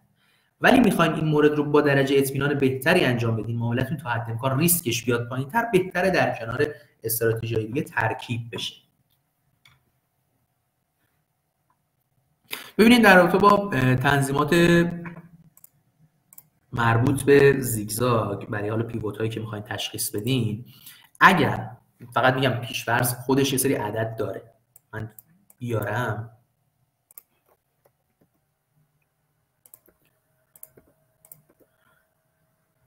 اعداد خودش اگر می‌خواین در واقع بدین پارامتر اول. می‌تونین این پارامتر رو بالاتر ببرین. البته بتونم یه جای خوبی پیدا کنم که بهمون نشون بده اینو که تغییر کنه چقدر می‌تونه گذار باشه. ببینید اینجا اتفاق افتاد. اینجا به عنوان مثال. اگر تحلیلاتون رو می‌خواین بر مبنای در واقع الگوهای کوتاه مدت انجام بدیم حالا رو ماجرا فعلا کار نداریم. بر مبنای روش های کوتاه مدت انجام بدین قله های کوچیکی می‌خواین در نظر بگیرین. اینجا نیازه که پارامتر اولیه ما رو بیارین پایین. می‌بینیم اینجا برامون اتفاق افتاد. یعنی یه زیگزاگ کشیدیم اینجا رو به عنوان دره نظر گرفت یه قله بالا داد بعد دوباره دره. پارامترمون پایین تر بیاد قله ها رو قله های کوچیکتر رو هم به عنوان قله ها و دره نمیشه گفت. قله ها و های کوچیکتر رو هم می‌تونه در نظر بگیره و تشخیصش می‌تونه انجام بشه. ولی نه شما می‌خواین تحلیلتون رو بر اساس حالا روش های هم بلند مدت تر همین که قله های اصلی رو می‌خواین در نظر بگیرید خود عدد پنجه. می‌تونین تا حدودای هشت همینو بالا ببرید برای تشخیص مینور و ماژور ولی میگم پیشفرض خودش عدد بدی نیست واقعیت. عدد پنج عدد مناسبی. مگر اینکه شما دیگه نیاز داشته باشین بنابر روشی که دارین استفاده می‌کنین مدلش رو تغییر بدین. خب. یکی از دوستان پرسیدن که کدوم تحلیل بهتره بنیادی یا تکنیکال؟ من نظر شخصیم حالا هر کس نظر شخصی خودش رو داره. من میگم هر دو در کنار هم تکمیل میشن. هیچ کدومشون به تنهایی کامل نیست. تحلیل بنیادی چجوری؟ یعنی اگر بخواید استراتژی بچینین برای انجام معاملاتتون تحلیل بنیادی برای اینه که شما سهام های منتخب رو انتخاب کنید یک سهام زیانده شاید خیلی مناسب شما نباشه که برای معاملات در واقع ورود داشته باشید ممکنه برای هر دلیلی نماد زیان کنه شامل بندهای در واقع مربوط به سازمان بورس بشه لغو پذیرش. اصلا کار اینا رو کار نداریم. شما بر اساس تحلیل های بنیادی میایین سهام های منتخبتون رو انتخاب می‌کنید با استفاده از تحلیل تکنیکال مکان های مناسب ورودتون رو تعیین می‌کنید پس اینا هیچ کدومشون به تنهایی کامل نیستن. در کنار همدیگه و مکمل همدیگه شما تحلیل بنیادی رو بلد باشین. ولی وقتی ندونین کجا می‌تونه فرصت مناسب ورود باشه خیلی نمیشه اون سود مطلوبی که مد نظرتون هست رو داشته باشین. یا بالعکس تحلیل به تکنیکال گفتیم بعضی مواقع خطا داره. اشتباها بنا حالا همه چی هم درست تحلیل کردیم واقعا هم همه چی ما درست نشون داده می‌شد. اما یک سهامی زیاندهه این سهام صورت مالیش منتشر میشه تحلیل تکنیکالش فوق العاده است. ولی وقتی صورت مالیش منتشر میشه می‌بینیم این نماد مناسب نیست. و عملا زیانده. این باعث میشه اون تحلیل تکنیکال شما یک دفعه کندل هایی بزنه که شما رو کامل بره تو ضرر. برای همین پیش‌فرض در کنار هم استفاده بشه. نه جدا آیا در moving average کندل های بالای خط نارنجی روند صعودی و پایین خط نارنجی روند نزولی نشون میدن؟ دقیقاً. ببینید ما گفتیم توی مربوط به روش تشخیص روند داریم بررسی می‌کنیم ما. یعنی می‌خوایم الان روند یک بازار رو بر مبنای من زیگزاگ یه لحظه بردارم. ما می‌خوایم روند یک بازار رو بر مبنای یک moving average تشخیصش بدیم. میگیم هر زمان که کندل های ما بالای دو تا خط تشکیل شد و خط fast ما یعنی خط نارنجی رنگ ما هم شیب مثبت و بالای خط در واقع کندمون یا آبی رنگ بود اینجا روند صعودی بالعکسش هم روند نزولی چه زمانیه؟ زمانیه که خط کندل‌ها زیر خط باشن و خط نارنجی رنگ بیاد زیر خط در واقع آبی. این میشه روند نزولی. جایی هم که تو محدوده range باشه این خط هایی با هم دیگه تلاقی پیدا می‌کنن یه محدوده خاصی رو داریم.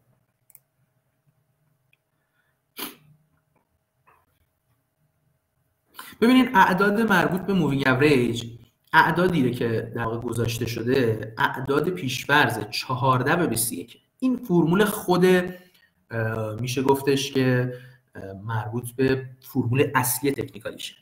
یکی از دوستان اشاره کردن که بهتر نیستش به صورت تقویم کاری در نظر بگیریم. مثلا اگر دو هفته باشه چون پنج روز در هفته داریم این بشه ده یا مثلا اگر یک ماه هست چهار هفتهش بخوایم در نظر بگیریم بشه 20 این درسته.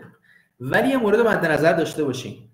ممکنه ما تعطیلات رسمی داشته باشیم. ممکنه یک نمادی بسته باشه بنا به مجمعی که داشته. خیلی خودتون رو نیاز نیست درگیر این موارد کنید ولی کلیت خواستیم یه عدد مطلوب رو در بیارین میگم عدد یه مقداری بلند مدته ولی جز عدد خوبه. عدد 20 و 40 می‌تونه جز اعداد مطلوب باشه. ولی میگم بازه بلند مدته. یعنی یه مقداری دیده بلند مدتی داره. ولی همون اعداد واقعیت 14 و 21 بر اساس خود فرمول اصلیش مناسبه خیلی نمی‌خواد عدد تغییر بدیم و درگیر این مورد بشین کفایت می‌کنه این موضوع.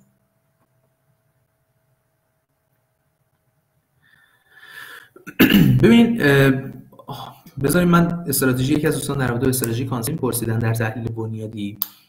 من جلوتر یه سری موارد رو بگم و بریم سراغ اول من دو تا مثال دیگه بزنم. وقت شد سایر موارد و تحلیل بنیادی رو خدمتتون بگم. فقط در یه نکته بهتون تحلیل بنیادی اشاره کنم. CAN SLIM یه روش یعنی یک چجوری بگم استراتژی. تحلیل بنیادی بر مبنای P/E محاسبه P/E forward ه. CAN SLIM میاد میگه مثلا یه شرکتی P/E ش مثلا ده پنج و بر مبنای اینکه تولیدش چه بازاری رو می‌تونه جذب کنه میاد تحلیل پیشرفته تر انجام میده. CAN SLIM یه تحلیل بنیادی خاص نیست. یه پیش‌نیازیه. یه در واقع روش تکمیل کننده است. تحلیل بنیادی محاسبه P/E forward که CAN SLIM می‌تونه اونو تکمیل کنه. خب بریم یه ذره جلوتر. من دو تا دیگه هم نمونه بیارم. الگوهای دیگر رو با هم دیگه چک کنیم. مثلا الگوی مثلث من خودم خیلی دوست دارم با هم دیگه نگاه بندازیم. و الگوی range یا مستطیل که ببینیم چقدر می‌تونه یک نوسانات زیادی رو به ما نشون بده. من یه ذره بیام عقبتر. خب. اندیکاتور moving رو برمیدارم. و می‌خوایم با هم دیگه چک کنیم. الان با این پیش‌فرض یه تصویر زوم می‌کنم. از محدوده خرداد تا محدوده اسفند به نظر شما چه الگویی داریم چه ماهی؟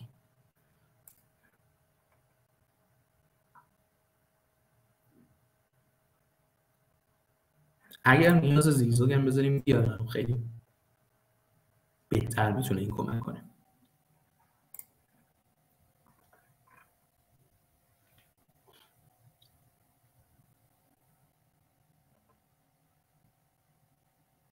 مثلث.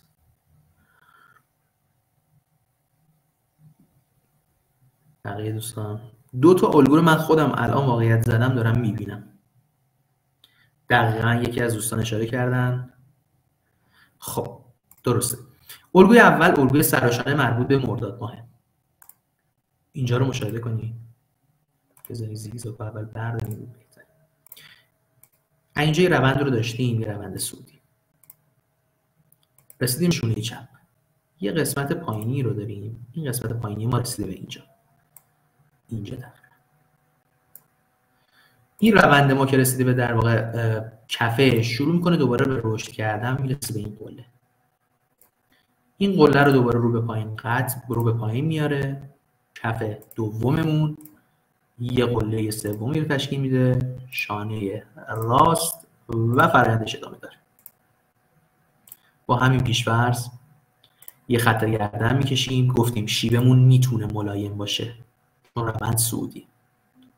این شیب ملایممون شانه چپ شانه راست سر. فرایند رو ببینیم. خط گردن رو به پایین توسط کندل قیمتی قطع شد. یک ریزشی داشت یه پول بک زد ریزش اصلیش رو شروع کرد. تارگتمون چقدر بود؟ فاصله بین سر تا خط گردن. اینجا رو اگر بیاریم حدودا به اندازه این تارگتمون می‌بینیم که این سایه هم هست. حدودا به اندازه این تارگتمون رسیدیم. میریم سراغ مورد بعدی. دوباره من زیگزاگو میارم. یه ذره جلوترش رو با هم دیگه چک می‌کنیم. اینجا چیه؟ یه روند نزولی. اول قله اول کف دوم قله دوم کف سوم. میشه الگوی کف سه قلو من یه خطش رو یه ذره بره بکشم. کف اول کف دوم کف سوم. و فرایندش رو شروع کرد. خط گردن ما کجا بود؟ این محدوده. تارگت اولیه‌مون چیه؟ یعنی حداقل تارگتی که توقع داریم قیمت رشد کنه. به اندازه فاصله بین کفامون با خط گردن. یعنی اینجا. وقتی خط شد target اولیه‌مون اینجا بود که حتی از target خیلی دو سه برابر بیشتر رشد داشته. می‌خوایم حالا ببینیم چه زمانی خروج کنیم. می‌ذارم میگم ترکیب بخوایم کنیم دیگه با هم دیگه دونه دونه چک کنیم. شما تصور کنید این قیمت رفته بالا. حالا target اتون هم می‌خواین تعیین کنیم target اولیه‌مون گفتیم اینجا حدودا. ولی خب ممکن شرایط باشه بهتر یا بدتر. میایم دوباره از اندیکاتور دومی استفاده می‌کنیم. چه زمانی مصاحبه کنم چه زمانی می‌تونه به شما فرصت خروج بده یا مثلا سیگنالی تحت عنوان سیگنال خروج بده؟ می‌خواین بهتر عمل کنید اینجا خارج نشین. هر زمان که خط در واقع moving average شما به شما سیگنال خروج داد. من به جای که بیام اینجا خارج بشم اینجا میام خارج میشم. چرا سود یه سود قابل توجه از دست بدم؟ چقدر فاصله است؟ من اینجا می‌تونستم بودن 15 درصد سود دست به دست بیارم. 15 تا 16 درصد. ولی اگر بیام اینجا تا 30 نزدیک 2 3 درصد می‌تونستم سود کنم. حالا با یه سری از روش های دیگه اصلا شما می‌تونید خیلی بهتر تو این نواحی خروج کنید. از اندیکاتورهای دیگه اگه استفاده کنید. پس ورود مناسب رو تونستین تشخیص بدین. خروج مناسب با سایر پارامترها در کنار تارگت ما یعنی تارگت فاصله ها می‌تونه انجام بشه. من یه مثال بیارم یک نماد دیگی رو تحت عنوان حالا الگوی دیگهمون چه کنیم؟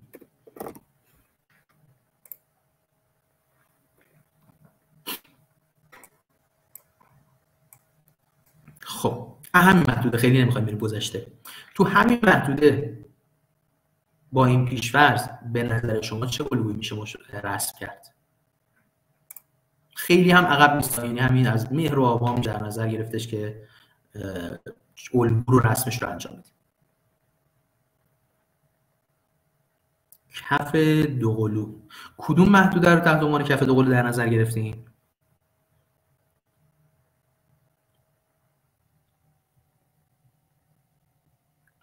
مهر کف دو دقیقا اون قسمت هم ما داریم. اتفاقا من اصلا حواسم به این ناحیه نبود. ما این ناحیه کف دو داریم.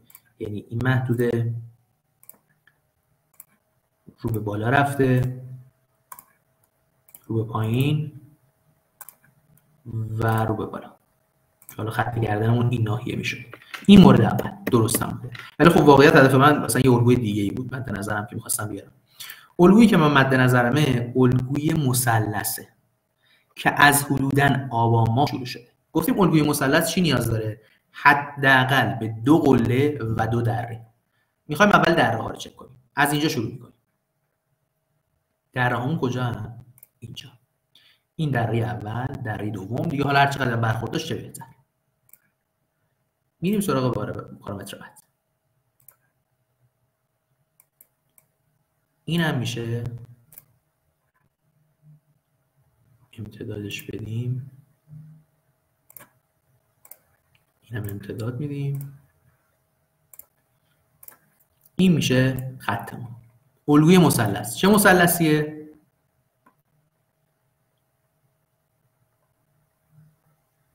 متقارن. دقیقا. یک الگوی مثلث متقارن. از کجا تشخیص بدیم؟ اگر این خط رو ما وسطش بکشیم یه خط بندازیم وسط این مثلث تقریبا یک مثلثی در میادش که سمت بالاش و سمت پایینش برابر اندازه ما اصلا به کندلا کار نداریم. ما خود مثلث رو می‌خوایم چک کنیم. یه مثلثی داریم که بالاش با پایینش تقریبا شبیه به همه. این مورد مربوط مثلث. الگوی مثلث روشش چی بود؟ می‌گفت کار ندارم من الگوی قبل چیه. من به این کار دارم که کندل قیمتی میاد خط رو حمایت رو به پایین رو قطع می‌کنه یا مقاومت رو به بالا. هر کدوم اتفاق افتاد من تارگتم. اینه که فاصله بین دره فاصله بین دره تا اون قله رو تارگتم در نظر می‌گیرم. به چه صورت؟ من میگم حدودا فاصله تا اینجا قله اول دره اولم حدودا اینجا. یعنی من میگم رو به بالا قطع شد هدف اولی هم میشه اینجا. رو به پایین قطع شد هدف اولی هم میشه اینجا. پس این مورد شد الگوی مثلث. ولی یه الگویی ما داریم تحت عنوان الگوی الگوی مربوط به مستطیل میایم یه ذره عقب که روی این نماد واقعیت خیلی خوب بود خوب جواب داد خب میایم اینجا ببینید ما یه ناحیه‌ای داریم عملا الگوی مثلث داشتیم اسخای می‌کنم الگوی مستطیل داشتیم الگوی مستطیل گفتیم یه ناحیه داریم کفا رو شامل میشه.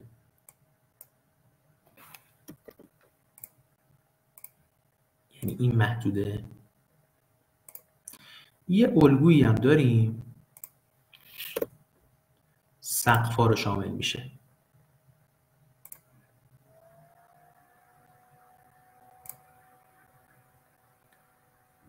ببینید این الگوی ما. به چشم خیلی مشکلی نداریم. الگو هست. حالا اینجا یه مقدار الگو رو یعنی خط حمایت مقاومت ما رو رو به بالا قطع کرده پول بک زده و نتونسته ادامه بده. دوباره برگشته تو محدودی رنجش. فقط برای کلیت بازاریش می‌خوایم در نظر بگیریم. شما تصور کنید تو این محدوده این این محدوده از کی شروع میشه؟ از برج 3399 تا برج 3400 عملا یک سال محدوده رنج ما داشتیم. فردی که اگر واقعا قصدش معامله باشه به این صورت نیستش که بخواد در واقع کلا یک سال معامله نکنه تا بازار حالت سودی بودن در بیاد. خیلی هم می‌خوان معامله رو داشته باشن حالا به نوساناتی که می‌تونن بگیرن. این نوسان هم واقعا کم نبوده. شما اگر الان توجه کنید به فاصله بین پایین و بالای کانالمون 45 درصد در واقع میشه گفت تفاوت بین قیمت ها بوده. یعنی فرد اگر تو این ناحیه میومد اقدام به خرید می‌کرد ما میگیم حالا می‌خواستم مطمئن شه میاد روی این کندل می‌کنه. تا اینجا می‌تونسته تو کمتر از بازه 25 روز تقویمی 15 روز کاری 32 درصد سود دست بیاره. یعنی به یک ماه هم نمی‌رسید. 5 روز کمتر از یک ماه می‌تونه 32 درصد نوسان به دست بیاره. 32 درصد سود کنه. یعنی بنزی تقریبا میشه گفت سپرده بانکی ها رو بخوایم بلند مدتش در نظر بگیریم. تو 25 روز دو برابر یه سپرده یک و برابر یه سپرده بانکی می‌تونسته سود به دست بیاره. پس محدوده های مربوط به رنج یا محدوده های مستطیل هم نقاطی هستن که خیلی می‌تونن کمک کنن به معاملات شما. حالا یه فردی می‌خواسته مطمئن شه اینجا هم معامله نکرده اومده تو این ناحیه اقدام کرده. تو این ناحیه اقدامش رو انجام داده و معاملش هم کرده حدود 35 40 درصد سود تونسته بگیره. حالا با این پیش‌فرض کاری نداریم. این مورد هم معاملاتش نحوه در واقع معاملاتش رو مطلع هستیم. فقط در رابطه با تارگتاش می‌خوایم در نظر بگیریم. اگر یک نمادی وارد محدوده مستطیل شد کار نداریم قبلش چی بوده بعدش چیه؟ یعنی در اون قبلش چه تاریخچه‌ای داشته؟ ما میگیم هر زمان وارد این محدوده شدیم. تارگت ما به اندازه فاصله بین دو تا طول زل بالا و پایین مستطیله اگر رو به پایین قطع کرد تارگت اولیه‌مون اینقدره. اگر رو به بالا قطع کرد تارگت اولیه‌مون اینقدره. که می‌بینیم تازه دو برابر اون تارگت رشد قیمتی رو شامل شده و تونسته صعود کنه. پس الگوی مستطیل هم یه مثال کاربردیش حالا بیشتر بازار رنج اتفاق میفته و ترجیحاً.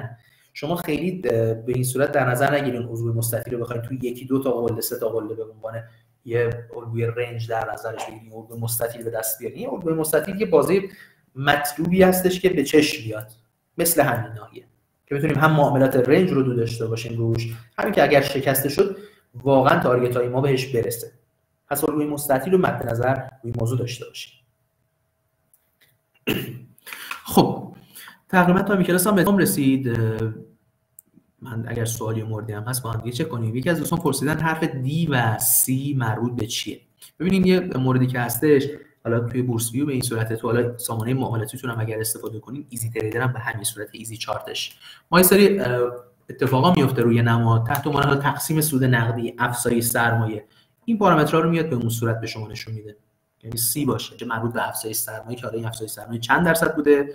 دی باشه نشون دهنده سود تقسیم شده است. حالا بد نشد واقعیت اینو ببینیم. من اگر بتونم گزینش چرا برای من مشکل داره. برای تعدیل شده نمودار قیمت رو شما حتما حتما مثلا یه رفرش کنم. حتما حتما بر اساس در واقع تحلیل هاتون بر مبنای نمودارهای تعدیل شده باشه. اصلا به هیچ عنوان مبنای نمودار تعدیل نشده اقدام به تحلیل نکنید چون یه گپ های قیمتی اتفاق میفته که این گپ های اشتباهه. پس نیاز به نمودارها تعدیل شده باشه. من برم سراغ سال 99 می‌تونیم مورد ببینیم. یه گپ قیمتی های اتفاق میفته یه فاصله های ما اینجا داریم که این گپ قیمتی رو درست نیست. روی اینجا اتفاق میفته یه نمادی مثل کگل رو من بیارم. این نماد رو شما الان ببینید نمودار بدون تعدیلشون این نمودار رو اگر ما بدون تعدیل ببینیم عملا میگیم این یه نماد با روند نزولیه. تحلیل ما بر مبنای روند نزولی بودنشه. چرا؟ چون نمودار تعدیل شده نیست. اما زمانی که می‌خوایم واقعیت رو ببینیم بعد بذاریم رو نمودار تعدیل شده می‌بینیم نه تنها این نمودار نزولی که نیست هیچ روند سعودی هم هست. پس حتما حتما نموداراتون به صورت تعدیل شده باشه که به افزایش سرمایه در واقع سودش اون تقسیم هایی که صورت گرفته تعدیل درست رو براتون نشون ببینید برای بهترین سود تقسیم شده فیلتر واقعیت نه باید برید تاریخچه کدالش رو چک کنیم ببینید کدوم شرکت سود بهتری تقسیم کرده. مثلا از اون EPS ی که داشته چند درصدش رو تحت عنوان DPS بین سهامداراش پخش کرده و داده. ببینیم پیشورز من فقط یه نموده آخر مورد بگم که از دوستان سوال داشتن برای moving average سوال داشتن. اندیکاتور moving average که کدوم روش محاسبش مناسبه؟ ما چون سه تا روش داریم برای moving average moving average دو تایی یکیش moving average ساده است روشش. یعنی میانگین متحرک ساده می‌گیره. یه دونه نماییه یه دونه وزنیه. حالا پیشفرض تو moving average simple اینجا به شما سیگنال ورود داد.